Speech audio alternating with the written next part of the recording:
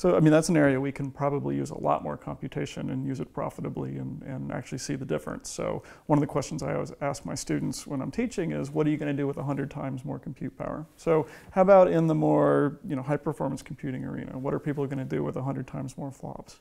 Well, some, there are some problems which have limitless amounts of computational need. Uh, things like you know, understanding disease. You know, the, the work being done by uh, folks like Vijay Pande at Stanford, where you're trying to simulate the actual progression of a cell as it gets attacked in the disease. He's got a project working on Alzheimer's where he's trying to actually witness a nerve cell and watch a nerve cell die at the atomic level, uh, you know, simulating every gene and protein and cell membrane as it gets infected and, and, and, and eventually deteriorates.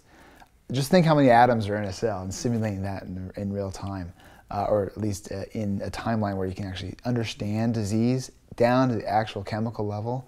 It's really going to provide a cool breakthrough for how we treat those things and understand the path, the very complicated pathways, and then design the right kind of drug that can get in there and stop it at the right point and, and keep people healthy. I think that's one of the one of the more cooler things that we're going to be doing in, in computers.